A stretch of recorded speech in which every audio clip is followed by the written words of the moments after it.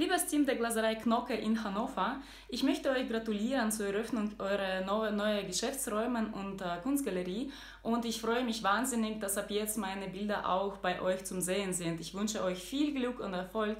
Eure Axana.